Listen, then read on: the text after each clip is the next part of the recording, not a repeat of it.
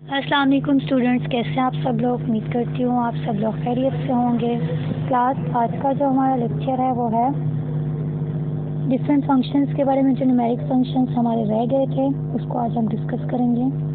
इसमें जो हमारे जो है फ़ंक्शन नंबर सिक्स है टैप फ़ंक्शन टैप फ़ंक्शन क्या है हमारे पास? टैप फ़ंक्शन स्पेस के लिए यूज़ किया जाता है। जब आपने डबल स्पेस लेनी हो या लेफ़्ट साइड से राइट साइड पे डिफरेंट स्पेसेस देनी हो। करंटली पोजीशन से जितनी आप स्पेस देना चाहते हैं, आप उसको शो कर देंगे। वन स्पेस टू स्पेस वो नेक्स्ट लाइन पे उसके आ जाएगा। Tab function on the next line के भी शो किया जाता है। Space zero is the most जो है लेफ़्ट साइड पे आपके पास ज़ीरो स्पेस होगी देन उसके बाद राइट साइड पे आप जितनी स्पेस विथ बढ़ाते जाएँगे, उसकी स्पेस बढ़ती जाएगी।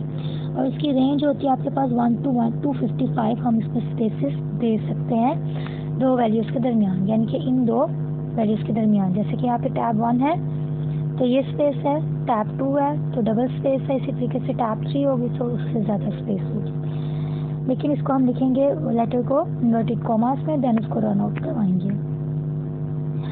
उसके बाद हमारे पास random function random R and D zero to one values जो होगी इसके अंदर, उसकी वो रिटर्न वैल्यूज़ आ जाएँगी रैंडम फ़ंक्शन में। R and D square bracket और पैरेंथेसिस में इसको लिखा जाता है।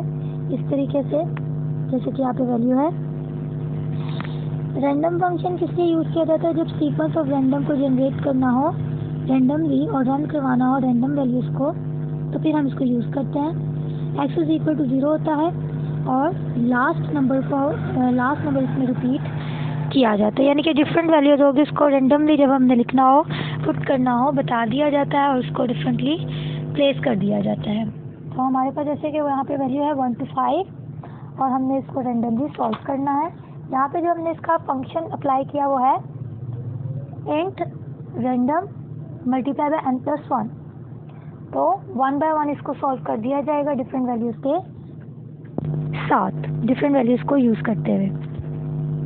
जैसे कि यहाँ पे वैल्यू है हमारे पास वन ज़ीरो वन मल्टीप्लाई करनी है one two three four five से देन इसको सॉल्व करेंगे। तो आपने जो जिसमें रेंडम वैल्यूज़ आई वो आई fifty three thirty thirty one fifty one and five different values आ गई उसके बाद है लॉग फ़ंक्शन नेचुरल लॉग निकालने के लिए यूज़ होता है लॉग फ़ंक्शन ई जो है वो आपके पास नेचुरल लॉग के लिए सिंबल होता है। नेचुरल लॉग ले रहा हो तो उसी के अकॉर्डिंग चलते हैं, जो कि आपके पास आता है बेस टेन का। टू पॉइंट जो बेस ई है, उसका जो आपके पास लॉग आता होता है two point seven, one eight two eight two. इसी तरीके से डिफरेंट जो है हमारे पास वैल्यूज़ आती जाएँगी। इसी लॉग टेन का होगा तो two point three zero, two five eight five. Then उसके पास आपके पास फ़ंक्शन है space function space function space के लिए यूज़ होता है। स्पेस फ़ंक्शन में और टैप फ़ंक्शन में फ़र्क है। टैप फ़ंक्शन की स्पेस ज़्यादा होती है as compare to space function की स्पेस फ़ंक्शन जो है वो सिर्फ़ वन लेटर स्पेस देता है वन करेक्टर स्पेस देता है। तो इसमें हमारे पास ओनली वन के लिए यूज़ होता है। प्रिंट और प्रिंट एज स्टेटमेंट हम इसमें यूज़ करते हैं इसको प्रिंट आउट करवाने के लिए। ओनली और जितनी हमने स्पेस देनी है हम उसको इंडिकेट कर देते हैं। जैसे कि यहाँ पे स्पेस फिफ्टीन देने की तो वन से लेके फिफ्टीन तक स्पेस दे दी गई है। ज़ीरो लेटर जो है इसके सेंटर में है और वन से लेके नाइन तक जाएगा। आपके पास वन से लेके नाइन तक वैल्यूज़ जाएँगी देन ज़ीरो और उसके बाद आगे चलेंगे। अब इसको लेके इसमें विथ इसकी बताई जाती है। विथ मोड से डिफाइन करनी होती है।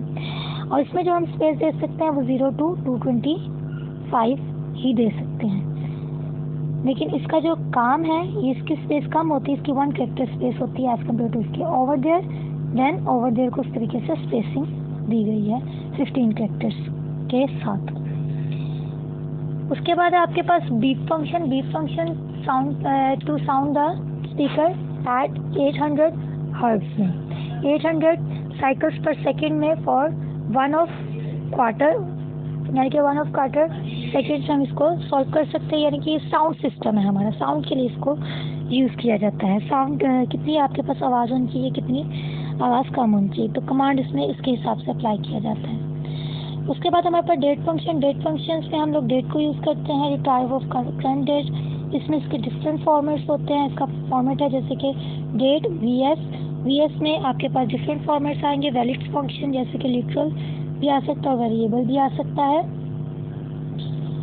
हमारे पास यहाँ पे है month date month dash date dash year month backslash date backslash year या month dash date dash year या फिर month backslash date backslash year तो कोई भी इसमें फॉर्मेट को हम यूज़ कर सकते हैं। डिफरेंट फॉर्मेट्स इसमें यूज़ किए जाते हैं। जैसे कि यहाँ पे शो किया गया है डेट को, इसमें मंथ देन डेट और देन ईयर है, और इसमें मंथ इस वाले में आपके पास जो है डेट मंथ और ईयर तो दो डिफरेंट फॉर्मेट इसमें दिए गए उसके बाद स्ट्रिंग फ़ंक्शन है। स्ट्रिंग फ़ंक्शन प्रोसेस करता है। आपके करेक्टर स्ट्रिंग्स को और प्रोड्यूस करता है न्यूमेरिक और स्ट्रिंग वैल्यूज़ को डिफरेंट वैल्यूज़ को। तो ये था क्लास हमारा आज का लेक्चर उम्मीद करती हूँ आपको अच्छे समझ आ गया होगा। स्ट्रिंग फ़ंक्शंस के बारे में हम फर्दर डिस्कस करेंगे डिटेल के साथ। आज का हमारा लेक्चर यही था न्यूमेरिक फ़ंक्शंस के बारे में। इसके कुछ बहुत ध्यान से सॉल्व करना है, अपने ख्याल रखना है। टेक केयर अल्लाह हाफिज़।